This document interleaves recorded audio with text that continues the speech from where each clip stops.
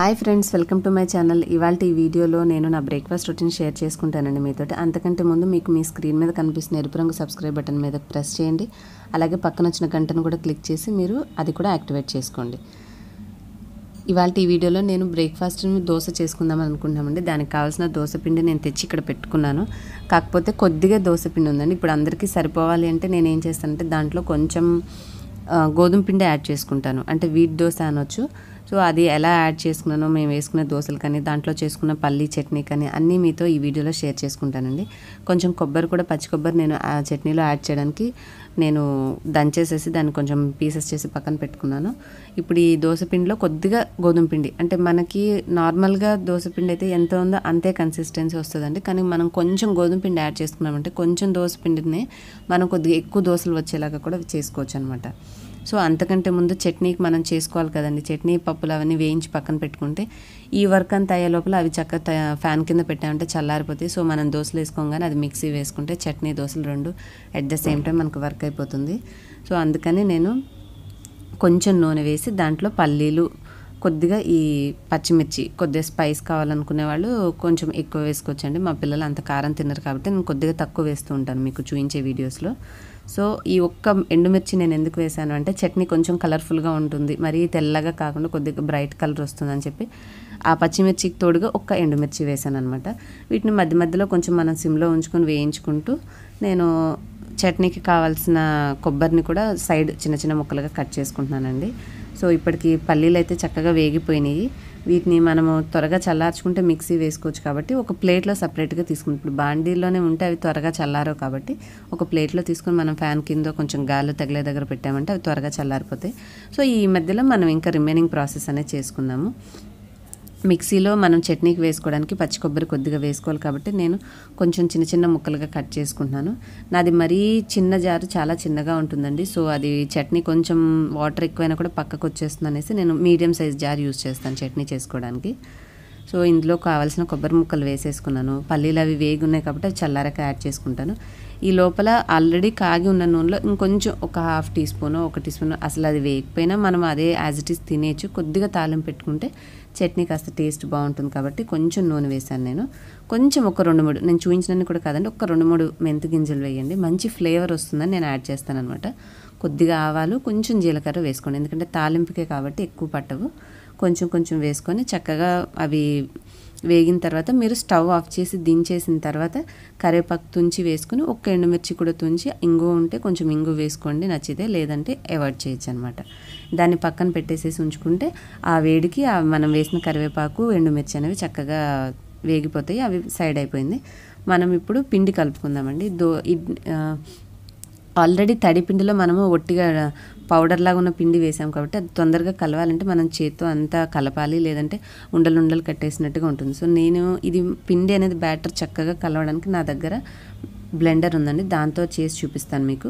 ముందుగా మనం వేసుకున్న కొంచెం గోధుమ పిండి కొద్దిగా నీళ్ళు వేసి కలిపితే అది చక్కగా లోపలికి మిక్స్ అయిన తర్వాత మనం మిక్స్ చేసుకున్న స్పూన్ తీసేసి ఈ బ్లెండర్లో ఈ విధంగా అటాచ్మెంట్స్ ఉంటాయండి. ఇవి పెట్టేసి మనం దాన్ని ఆన్ చేసామంటే అది చక్కగా తిప్పేస్తుంది అనమాట అంటే మనం స్మూత్గా దోశపిండి ఎలా గ్రైండ్ చేసుకున్నప్పుడు వస్తుందో అలా నీట్గా కలిపేస్తుంది అనమాట మనకి ఎక్కడ ఉండకట్టేసినట్టుగా పిండి అనేది క్లియర్గా అంటే బబుల్స్ బబుల్స్లా కనిపించదు. చూసారు కదండి. నేను అది యాడ్ తిప్పుతూనే కొంచెం కొంచెం సరిపడా నీళ్ళు వేసేసాను. సో దట్ కన్సిస్టెన్సీ మనకు అర్థమైపోద్ది. దోశ పిండి లాగా వస్తుందా? లేదంటే మరి కొంచెం మందంగా వస్తుంది? ఈ పిండి కొద్దిగా పలచగా ఉంటేనే దోశ వేసుకోగలమండి. సో నేను తిప్ గ్రైండ్ చేశాను. చక్కగా అది మంచిగా బ్లెండ్ చేసేసాను. నీట్గా పిండి అనేది రెడీ అయిపోయింది. ఇక మనం దోశ వేసుకోవచ్చు. మామూలు దోశ పిండి ఒక గరిట నిండుగా పడితే ఇది కొంచెం ముప్ప గరిటతోనే మనకి దోశ ఈజీగా వచ్చేస్తుంది అనమాట అంటే మనం వేసిన గోధుమ పిండి అనేది మనకి కన్సిస్టెన్సీ ఎక్కువ ఉండేలా చేస్తుంది. నేను ఆల్రెడీ ఇటు సైడ్ ప్యాన్ సిమ్లో పెట్టి హీట్ చేసే ఉంచాను. సో మీకు విజిబుల్గా ఉంటుందనేసి నేను ఆ ప్యాన్ అటు సైడ్కి ఇప్పుడు షిఫ్ట్ చేశానండి. ఆయిల్లో పెట్టుకున్నాము. దీనికి ఫస్టే ఆయిల్ రాసి వేసామంటే అతుక్కుపోతుందండి. మామూలు దోశ అయితే నూనె వేసి వేస్తే చక్కగా కాలుతుంది. కానీ గోధుమ పిండి వేసింది అయితే రాదండి. ఉండకట్టేసేసి అది లావుగా వస్తుందనమాట నేను ఎప్పుడు తాలింపు మా పిల్లలు కరివేపాకు అవాయిడ్ చేస్తారని చెప్పి తాలింపు మనం వేసి కాసేపు ఉంచిన తర్వాత చల్లారాక అవి క్రిస్పీగా అయిపోతాయి. ఆ కరివేపాకును అంతా దంచేసి చిన్న చిన్న ముక్కలుగా చేసేస్తాను అనమాట అప్పుడు ఏంటంటే పిల్లలు కరివేపాకు తీసి పడేసే అవసరం రాదు. కంపల్సరీగా ఇంట్లో ఉన్న అందరం అది అవాయిడ్ చేయకుండా తినేస్తాం కాబట్టి ఈ విధంగా చేస్తాను. ఈ టిప్ అనేది మీరందరూ తప్పకుండా పాటించాలి. ఎందుకంటే కరివేపాకు కంటికి ఆరోగ్యానికి చాలా యూజెస్ ఉన్నాయి. కరివేపాకు యూజెస్ అవన్నీ నేను తప్పకుండా ఫ్యూచర్ వీడియోలో కుదిరితే చేస్తానండి. సో కరివేపాకు పిల్లలు అవాయిడ్ చేస్తున్నారు. మీరు తినిపించాలనుకుంటే కూరల్లో ఎటు అవాయిడ్ చేయలేరు. కాబట్టి కనీసం చట్నీస్ చేసినప్పుడైనా మీరు పోపు పెట్టినప్పుడు ఈ విధంగా వాటిని చిన్నగా నలిపేశారంటే గరిటతో నేను అన్నట్టుగా చూపించినట్టు మీరు చక్కగా అది కలిసిపోతే తాలింపు వేసాక కలిపేసుకున్న ఇక మీకు చట్నీలో కావాలన్నా కూడా కరివేపాకు దొరకదు. అలా వెళ్ళిపోతుంది అనమాట నోట్లోకి. సో చట్నీకి కావాల్సిన నేను కొంచెం అన్ని పప్పులు చల్లారిపోయినవి వేసేసాను. కొంచెం టేస్ట్కి చింతపండు వెల్లుల్లి రెబ్బలు ఉంటే ఒకటి లేదా రెండు వేసుకోండి. లేదంటే లేకపోయినా పర్వాలేదు.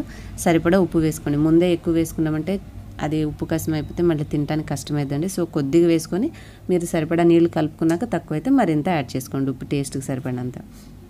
నేను ఈ పనులు చేసుకుంటూనే ఆల్టర్నేటివ్గా దోశలు వేసుకుంటూ తీసుకుంటూ ఈ మే- మధ్యలో పనులు చేసుకుంటూ ఉన్నానండి. సో మనం ఫస్ట్ డ్రైగా ఒక్కసారి వేసినవన్నీ ఒక్కసారి తిప్పామంటే ఆ గట్టిగా ఉన్న ముక్కలన్నీ మంచిగా తిరుగుతాయి. తర్వాత సరిపడిన నీళ్ళు పోసుకొని మంచిగా గ్రైండ్ చేసేసుకొని మనం ఇందాక కలిపి అది మెత్తగా చేసుకున్నాం కదా పిండిలాగా కరివేపాకు అదంతా ఆ తాలింపులో కలిపేసేసి సర్వింగ్ డిష్లోకి సపరేట్గా తీసేసుకుంటే చట్నీ పని అయిపోతుంది.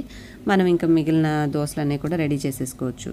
సో నేను ఇంకా కొద్దిగా అడుగునున్న చట్నీ అదంతా వేస్ట్ అవ్వకుండా కొంచెం నీళ్ళు పోసేసి ఈ మూతలో ఉన్న చట్నీ మీద కూడా పోసి అదంతా కవర్ అయ్యేలాగా ఎక్కువ నీళ్ళు పట్టకుండా చట్నీలోకి తిప్పేశానండి. సో మనం ఈ పని ఈ పని రెండు ఆల్టర్నేట్ చేసేసుకుంటూ ఉంటే చట్నీ దోశలు అయిపోతే పిల్లలకి టైం సేవింగ్ అనేది ఉంటుంది. మనకు కూడా పని క్విక్గా అయిపోతుంది. నేనైతే ఇలాగే చేసుకుంటాను నా రొటీన్ మీ అందరితో స్పెషల్గా షేర్ చేసుకోవాలని ఇవాళ కొంచెం లెందీగా చేయడం జరిగింది. ప్లస్ కొంచెం నాన్ ఆయిలీ ఐటమ్స్ ఎప్పటికప్పుడే వెంటనే కడిగేస్తాను. అంటే ఒకవేళ పిండిలో పెట్టిన స్పూన్ కానీ లేదంటే చట్నీ గిన్నెలు కానీ ఇవన్నీ ఏంటంటే అప్పటికప్పుడే ట్యాప్ కింద కడిగి పెట్టేస్తాను. వెజిల్స్ ఎక్కువ కడగడానికి ఎక్కువ లేకుండా చేసేస్తాను అనమాట చూస్తున్నారు కదా చక్కగా చట్నీ నీట్గా రెడీ అయిపోయింది. ఒక పని స్టవ్ మీద అయిపోయింది దోశలు కూడా దగ్గరకు వచ్చేసాయి యువతలు పాలు పెట్టాను కాచాను. బ్రేక్ఫాస్ట్ ఇచ్చి చక్కగా ఒక గ్లాస్ పాలు ఇచ్చామంటే పిల్లలకి హ్యాపీగా కడుపు నిండా తినేసి పాలు తాగేసి ఎంజాయ్ చేస్తూ వెళ్ళిపోతారు. ఇంకొక టిప్ అండి కొంచెం పల్లీ చట్నీ తిన్నవాళ్ళు పుట్నాలు ఇవన్నీ వేసినప్పుడు గ్యాస్గా అనిపించేవాళ్ళు టిఫిన్ తిన్న తర్వాత చల్లటి నీళ్ళకు బదులుగా కొంచెం గోరువెచ్చని నీళ్ళు తాగండి. మీకు ఏ ప్రాబ్లం రాదు. సో నా ఈ వీడియో నచ్చితే తప్పకుండా లైక్ చేయండి. మీకు తెలిసిన వారందరికీ షేర్ చేసి కొత్తగా చూసిన వారు సబ్స్క్రైబ్ చేసుకోవడం మాత్రం మర్చిపోద్దు. మీ అభిప్రాయం నా కామెంట్ సెక్షన్లో తెలియచేయండి.